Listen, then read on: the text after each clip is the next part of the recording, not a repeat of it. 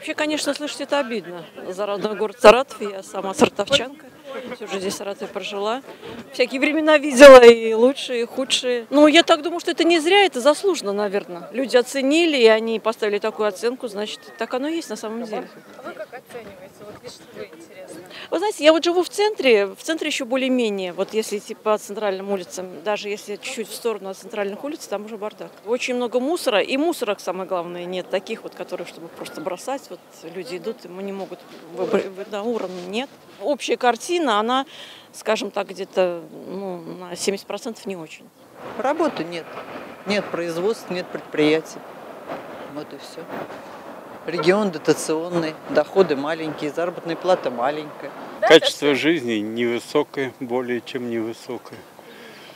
Обустройство, вот в последнее время усилия предпринимаются, но очень скупые, сдержанные. Двор обустроили, подъезды остались непроезжими. Или двор обустроили, а за э, уборкой и вывозом мусора в свое время никто не следит и все портится. Вот из таких мелочей оценки складываются. А в целом, безусловно, Саратов, если сравнивать с другими городами, я был Поволжье во многих городах, в Казани в первую очередь, это небо и земля. У нас, в принципе, не развивается ничего. Ну, то есть в центре у нас нормально, хорошо, а окраины мы уже в счет вообще не берем. Там, конечно, не очень совсем. Ни инфраструктура не развита, дорог нет, и, в общем, там, мне кажется, до бесконечности можно перечислять. Брат в Москве живет уже несколько лет.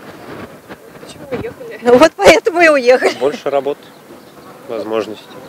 Какую вот вы бы дали оценку нашему городу и почему? По десятибалльной шкале, если то Если да, по десятибалльной. пятерочка. Не согласна. Ну, рабочих мест, конечно, как бы маловато. И зарплаты не очень большие. Ну, я думаю, что не последнее место. Уж больно нас отодвинули как-то. Я бы дал семерочку где-то. Это из десяти? Да. Почему? Ну, многие из нашего города уезжают. Ну, невысокую я бы дала. Во-первых, что угнетает, наш город очень грязный. Не знаю, то ли мы не убираем, то ли за нами не убирают. У меня кажется, обоюдное. Каждый Дороги у нас очень плохие. Поэтому высокую оценку дать ну никак не получается.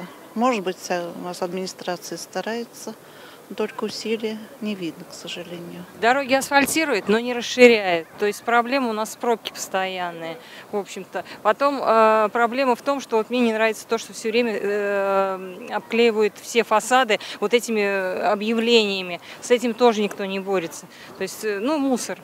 Поэтому вот я так считаю, что рейтинг должен повышаться. Уже должна благосостояние, чистота должна быть в городе в первую очередь. Работы много, а заработная плата маленькая. Да, требуют много, а отдают мало. Ну, Я думаю, совершенно справедливая оценка. Вы знаете, я был во многих городах России, я ездил по командировкам одно время. И, э, честно говоря, Саратов я отношу к самым некомфортным городам.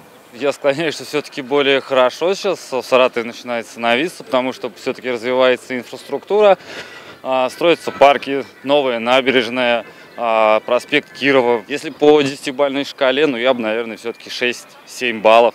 Саратов. Ну, честно, да, подумываю переехать. Э, Опять же, развитие. Хочется развития, хочется более, ну, город побольше. Вот, а так Саратов я люблю, но есть куда ему стремиться, развиваться в плане и промышленности, в плане и образования, и в плане, опять же, благоустройства. Хотелось бы, чтобы все-таки побольше у нас было и парков тех же самых, и каких-то развлекательных э, для детей, вот, что площадок очень маловато. Не самое лучшее. Почему?